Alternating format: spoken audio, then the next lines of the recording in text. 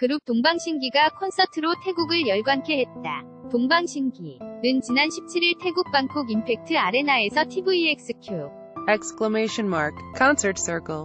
BANGKOK을 개최했다. 이번 공연은 2015년 5월 이후 약 3년 3개월 만이다. 이날 공연에서 Hug, 믿어요, 더 웨이 UR, 라이징 선, 주문 MIROTIC 등 메가 히트곡부터 운명, 평행선, 보, Bounce, 다 지나간다 등의 히트 넘버를 쏟아냈다. 약 3시간 동안 총 26곡을 선곡했다. 태국 콘서트를 마친 동방신기는 일본에서 오는 9월부터 아레나 투어로 펼쳐지는 LIVE TOUR 2018 물결표 TOMORROW를 이끈다. 김혜나 기자의 골뱅이 tvreport.co.kr 슬래시 사진 등 SM 엔터테인먼트 copyrights TV 리포트 무단 전제 재배포